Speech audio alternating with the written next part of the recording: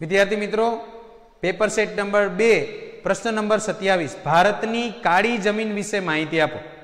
આપણા પેપર સોલ્યુશનનો વિભાગ બનો, આપણો ક્રમશઃ પ્રશ્ન નંબર પચીસ, છવ્વીસ, પછી આપણે સત્યાવીસમો પ્રશ્ન જોઈ રહ્યા છીએ.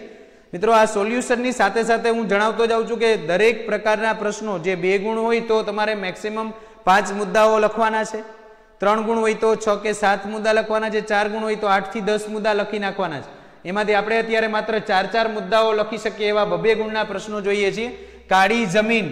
તો પહેલા તો તમે એક મુદ્દો તમારી જાતે લખી શકો. કાળી જમીનને અંગ્રેજીમાં બ્લેક સોઇલ કહેવામાં આવે છે. બ્લેક સોઇલ, કાળી જમીન. કાપની જમીન. આપણે જોઈએ કાળી જમીન ભારતના ભારતના કુલ ક્ષેત્રફળના પંદર ટકા ક્ષેત્રફળમાં છે. કુલ જમીન છે સો ટકા.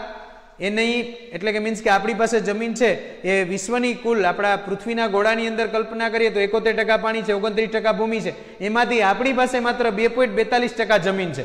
આપણા માટે બે પોઈન્ટ બેતાલીસ ટકા આપણે સો ટકા ગણીએ, તો એનાથી એની પંદર ટકા કાળી જમીન છે. તો આ પંદર ટકા ક્ષેત્રમાં ફેલાયેલી છે.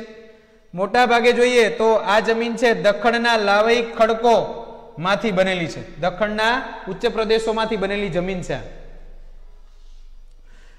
અહીંયા મહારાષ્ટ્ર, પશ્ચિમ મધ્યપ્રદેશ, આંધ્રપ્રદેશ, કર્ણાટકના વિસ્તારોમાં આ જમીન આવેલી છે. મહારાષ્ટ્રમાં સૌથી વધુ કાળી જમીન છે. આ જમીન ખાસ કરીને આપણે ત્યાં ભરૂચ, નર્મદા, વડોદરા, તાપી, ડાંગ વગેરે જિલ્લાઓમાં જોવા મળે છે. આમ તો ઇનફ છે ચાર મુદ્દા. પરંતુ એડ કરી એકાદ મુદ્દો કે આ જમીન ફળદ્રુપ અને ચીકણી હોય છે. આ જમીનમાં લોહ, ચૂનો, કેલ્શિયમ, પોટાશ ને એલ્યુમિનિયમ, મેગ્નેશિયમ ને કાર્બોનેટનું પ્રમાણ વધુ હોય છે. આ જમીન લાંબા સમય સુધી ભેજ સંગ્રહ સાચવી શકે છે. આ જમીનમાં કપાસ, અળસી, સરસવ, મગફળી, તમાકુ, અડદ જેવા કઠોળના પાક લઈ શકાય છે.